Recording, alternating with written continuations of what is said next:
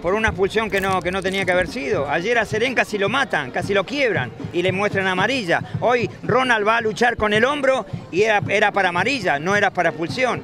Y bueno, esas cosas a mí me pone mal porque todo el trabajo de la semana lo tiran abajo en 10 minutos.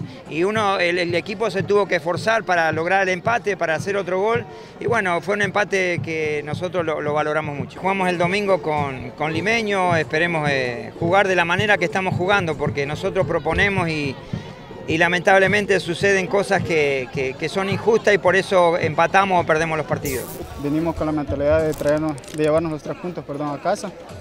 Eh, no se nos dio, pero ahora tenemos un partido eh, más que importante en casa, donde nos tenemos que hacer valer y sabemos de que por ahí nos jugamos la clasificación. Teníamos el resultado a favor nuestro con un jugador más, creo que ellos con un jugador menos.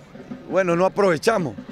Sin embargo, quedamos tranquilos porque, quiera o no, el equipo sacó un buen resultado, no un excelente resultado, porque el 2-1 nos daba la, la clasificación. Pero bueno, hay que seguir trabajando, quedan dos finales más, yo dije que eran cuatro, nos quedan dos finales más. No, no, no, la verdad es que nosotros queríamos darle a la afición la, la alegría de sentirse clasificados desde ya, pero aún estamos ahí metidos entre los ocho. Vienen dos partidos difíciles, con dos rivales directos, y es importante ganar y ganar, y, vamos a, darlo todo en Sonsonate y a darlo todo el próximo fin de semana también aquí.